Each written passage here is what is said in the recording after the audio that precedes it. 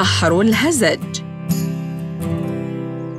بنو آدم كالنبت ونبت الأرض ألوان فمنهم شجر الصندل والكافور والبان.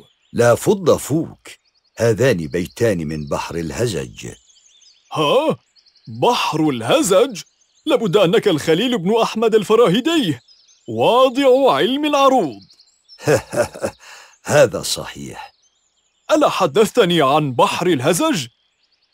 نعم بحر الهزج هو من البحور الشعرية الصافية ذات التفعيلة الواحدة ويرتكز في بنائه على تكرار مفاعيل أربع مرات. كما رددتها أنت قبل قليل. مفاعيل مفاعيل مفاعيل مفاعيل. ذاكرتك قوية ومفتاح بحر الهزج هو على الأهزاج تسهيل مفاعيل مفاعيل. ويأتي دائما مجزوءا وله عروض واحدة صحيحة وضربان صحيح ومحذوف. صحيح ومحذوف. تماما.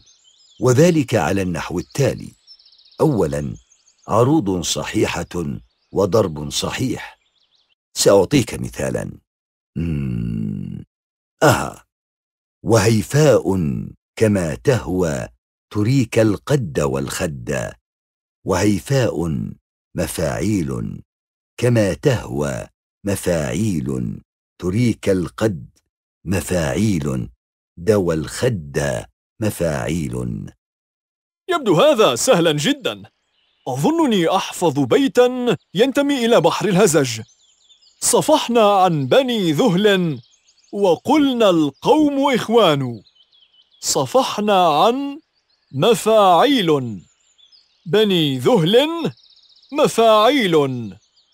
وقلنا القو مفاعيل. مؤخوان مفاعيل. أحسنت. وهناك عروض صحيحة وضرب محذوف. والحذف علة تعني حذف السبب الخفيف من آخر التفعيلة. ومثال ذلك جميل الوجه أخلاني من الصبر الجميل. جميل الوجه مفاعيل هي أخلاني مفاعيل. من الصبر المفاعيل جميل مفاعي. وهنا تلاحظ أن تفعيلة مفاعيل قد دخلت عليها علة الحذف وهي تعني كما ذكرت لك حذف السبب الخفيف منها فتحولت إلى مفاعي فهمت عليك وقد يدخل زحاف الكف على التفعيلة زحاف الكف؟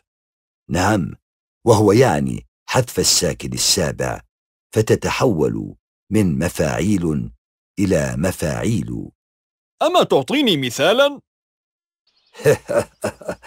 أنت تحفظ المثال جيدا. آه هل تقصد الأبيات التي كنت أرددها قبل أن تشرح لي بحر الهزج؟ نعم بنو آدم كالنبت ونبت الأرض ألوان. بنو آد مفاعيل مكالنبت مفاعيل ونبت الأر مفاعيل بألوان. مفاعيل. فهمتها الآن.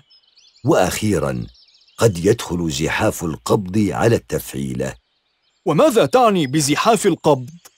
يعني حذف الحرف الخامس من التفعيلة وفي مفاعيل هو الياء. وبحذفه تصبح التفعيلة مفاعل.